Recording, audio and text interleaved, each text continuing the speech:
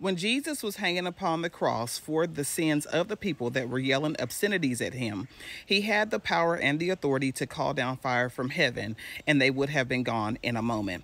Instead, he did not do that. He said, Father, forgive them, for they know not what they do.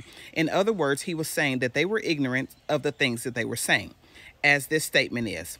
When I lay down in my bed every single night and I ask God to send his angels to watch over and to protect and to keep my family safe from all hurt, harm, and danger, he does just that. When I get on an airplane did I do not know how to fly, I could not even begin to be able to tell you what happens with the controls and all that, and I ask God to protect the pilot that's flying the plane and to protect the path that we're on, he does just that. And this is also what the scripture said about his shield being kept around us. He's our shield and our hiding place. He's our help and our shield. Those that trust in him, he is their help and their shield. He stores up sound wisdom for the upright, and he is their shield. Those that walk uprightly, he's their shield. He's a shield to those that put their trust in him. I think that you get the picture.